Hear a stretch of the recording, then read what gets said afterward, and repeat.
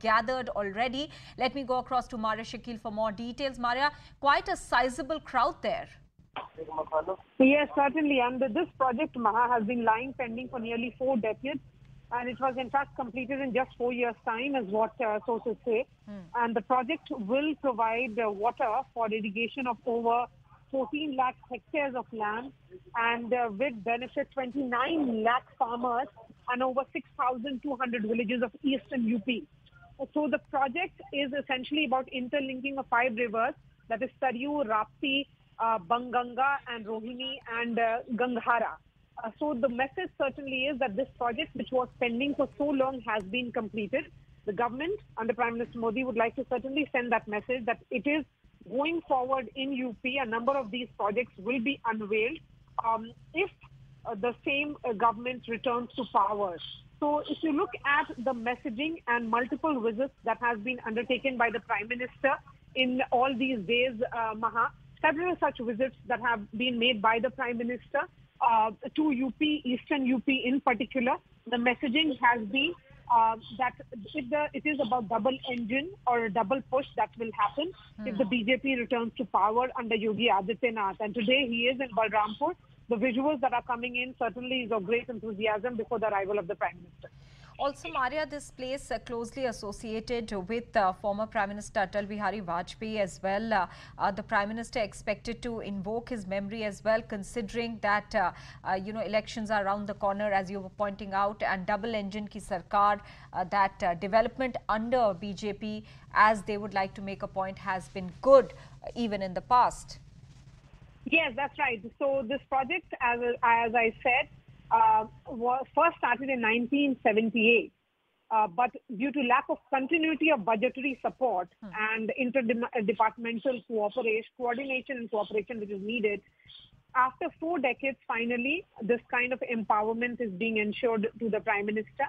Uh, consequently, in 2016, the project was brought under Pradhan Mantri Krishi Sinchai Yojana, with the targets to complete it in a time-bound manner. The focus is that this project has been completed in a time-bound manner, which will ensure development and peace for the region. And at the same time, uh, particularly the farmers will benefit in ensuring that they get, uh, you know, uh, water for their land. Uh, and, and continuous irrigation will be ensured. Hmm. So the messaging, as we have been saying, is very clear, Maha, uh, that that if there is a government or Prime Minister Modi at the center and government of Yogi Adityanath in the state of UP, similar work will be undertaken. And uh, the, the, the message, as, again, as I've been saying, the push is happening in eastern Uttar Pradesh. Correct. Eastern UP uh, is, is that belt which has uh, Prime Minister's constituency of Kashi. Hmm. It has Yogi Adityanath's uh, home district of Gorakhpur. Um, even on 13th, there are multiple events and uh, programs that have that will be unveiled. It is about development of these important towns that the Prime Minister will be unveiling on 13th when he travels uh, to Kashi, and uh, the chief ministers of all BJP ruled states are expected to be present there as well. Hmm. So the message, as I've been saying, is important. It is two-pronged uh, uh, a dual strategy that is the BJP has been talking about. On one hand, of course, is the central narrative of Hindutva, but at the same time, multiple projects that have been undertaken by the government at the center and in the states, um, and, and hence it is about ensuring that the BJP says that uh, if Yogi Adityanath returns to power, they will ensure development of the state of Uttar Pradesh, particularly Eastern UP, hmm. because Eastern UP has largely been neglected is the charge that has come from the BJP often. If you remember what the Prime Minister said when he was recently in UP, Maha, at that time also the Prime Minister's charge was that uh, development happened in pockets of UP. It was not uh, throughout the state and uh, largely because of Western UP and its demographic in terms of uh, dominance of a particular community, uh, most parties, be it the BSP or the Samajwadi Party, focused on this particular part of the state and overlooked or ignored the eastern belt of UP. And this, again, under the BJP regime, this they will ensure that the entire state develops.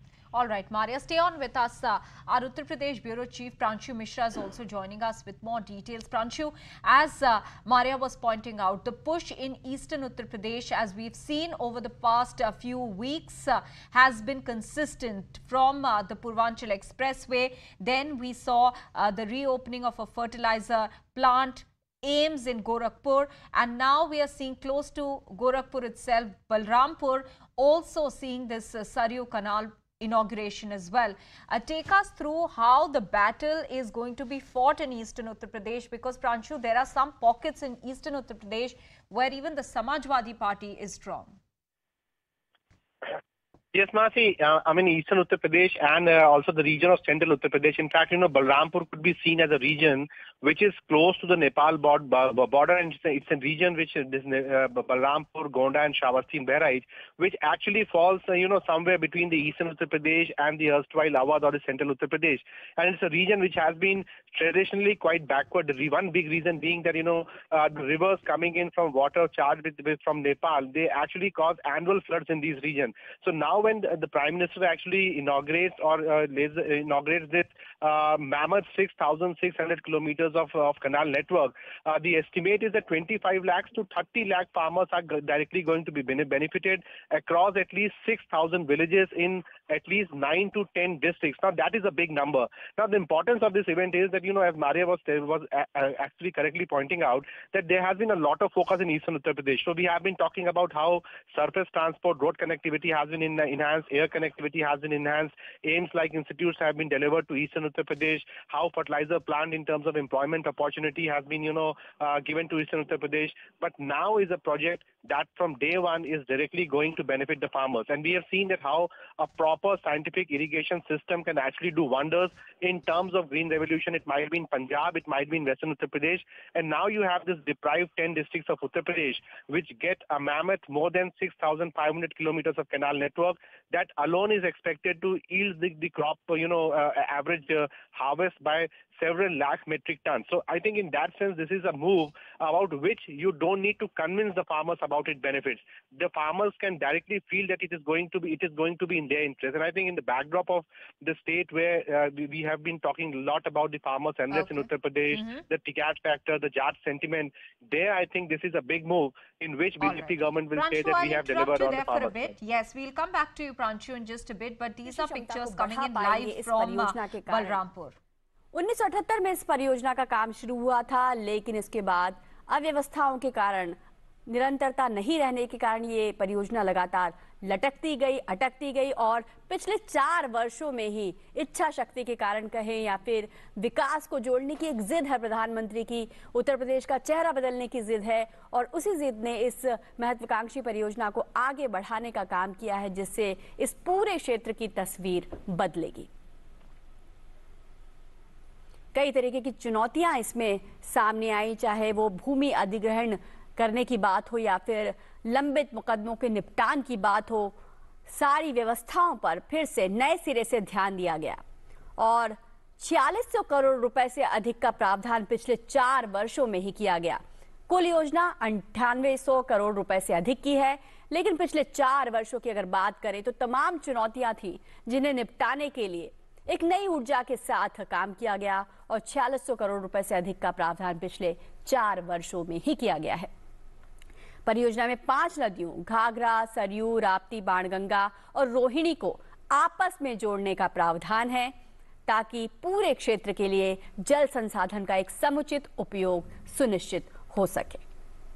किस तरीके से बदलेगी ये परियोजना, उस क्षेत्र की तस्वीर, उसी मॉडल का, उन्हीं नक्शों का, उन्हीं चित्रों का, उन्हीं तस्वीरों का अवलोकन करते हुए प्रधानमंत्री नरेंद्र मोदी इस वक्त बलरामपुर में। और 14 लाख हेक्टेयर से अधिक खेतों की सिंचाई के लिए इस परियोजना से पानी की उपलब्धता सुनिश्चित होगी। और पूर्वी उत्तर प्रदेश के बासठ से अधिक गाँव के लगभग 29 लाख किसानों को इसका फ़ायदा मिलेगा, उनका जीवन बदलेगा, उपज बढ़ेगी और जीवन स्तर में एक बड़ा सुधार आएगा। इसे पूर्वी उत्तर प्रदेश के नौ जिलों, बहराइच, श्रावस्ती, बलरामपुर, गोंडा, सिद्धार्थनगर, बस्ती, संत कबीर नगर गोरखपुर और महाराजगंज को भी फ़ायदा मिलेगा। और इस क्षेत्र के किसान जो परियोजना में अत्यधिक देरी